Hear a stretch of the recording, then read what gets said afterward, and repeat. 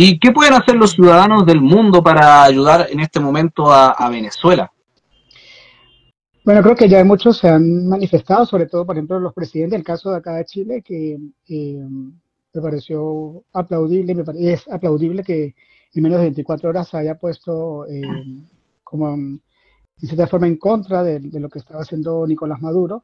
Y bueno, la invitación, como siempre, también he hecho mi, aquí en mis redes sociales con, con, con eh, transmitir como las cosas positivas que se dieron o lo que se está dando, ¿vale? Eh, mostrar también lo que está sucediendo en Venezuela.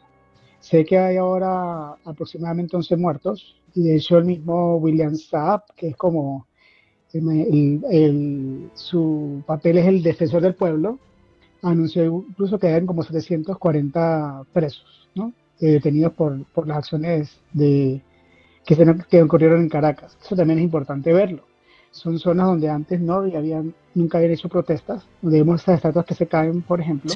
Eh, Luego Chávez eran como eh, zonas prohibidas para la oposición, por así decirlo, ¿no? Porque era, era el bastión del, del, de, la tiranía, por así decirlo.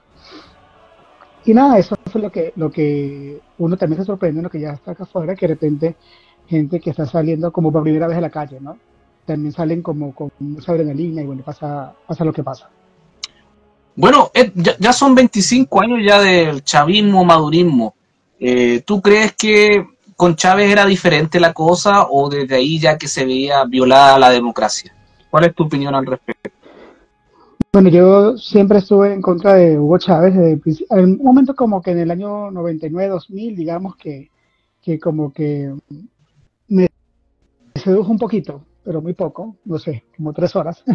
Fue un discurso porque obviamente sí hay que reconocer que él era un líder, que movía masa.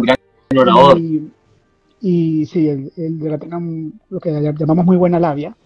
Eh, y movía gente, tenía su piso popular y de hecho eh, mucho de lo que pasó en el 2012 también era como difícil comprobar ese fraude porque hay mucha gente eh, al, digamos, a, esa, a ese ídolo inquebrantable que, era Hugo Chávez, y, em, pero siempre fue lo mismo, o sea, siempre comenzó la, o sea, fue como un proceso de, de, poco a poco, ¿no? No fue como de una vez todo, sino que fue paso a paso, por ejemplo, em, el tema del desabastecimiento o el tema de la electricidad. En mi caso, yo, yo soy de San Cristóbal, que es el estado Táchira, comenzó no en el 2012 ni el 2010, comenzó en el 2005, 2006, 2007, comenzaron los apagones que todavía hay, de hecho, San Cristóbal dura ocho horas sin luz, todos los días ocho horas sin luz. Y, el pretexto es que por falta de mantenimiento, pero lo que sabemos de eso es una medida de, sumisión ¿no? y de, control de, la masa. Aparte que lo que era Táchira, por ejemplo, Táchira y el estado Zulia eran como los estados más opositores de, a nivel electoral. De hecho, Chávez nunca ganó en, Táchira. Eh, y era como, eran como los más castigados.